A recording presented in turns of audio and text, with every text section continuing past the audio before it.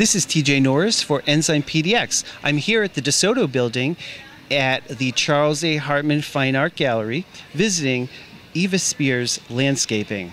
Let's take a look.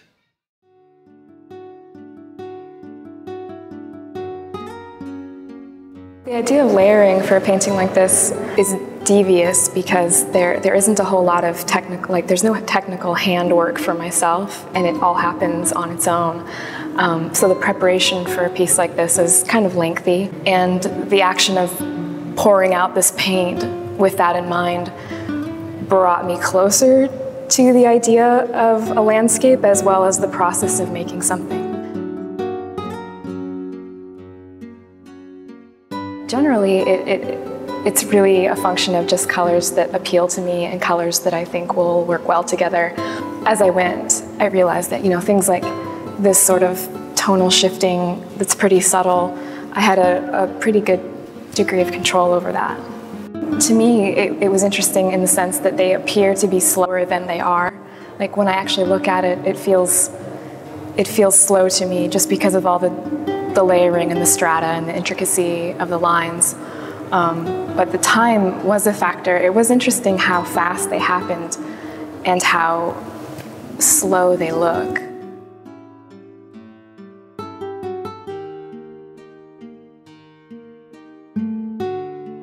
I was thinking um, of my parents' bed sheets.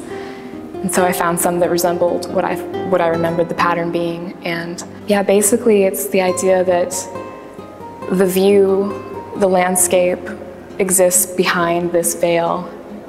What you have instead, though, is this surface realm full of this focus and this intensity and this work.